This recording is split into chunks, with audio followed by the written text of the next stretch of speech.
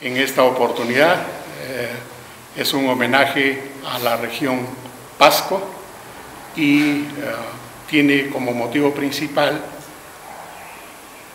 el santuario de Huaraotambo, ubicado en la región Pasco.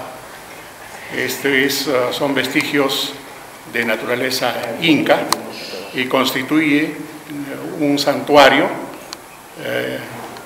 en el camino entre Cajamarca y Cusco, justo en un nivel intermedio, a 3.600 metros de altura.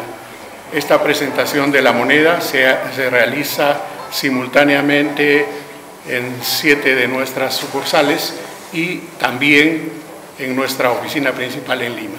¿Cuántas de esas monedas van a haber? Uh, se han acuñado un total de 12 millones de unidades. ¿Qué características va a tener esta moneda? Eh, en el uh, anverso está justamente estos restos arqueológicos de, de este lugar emblemático de Guarautambo.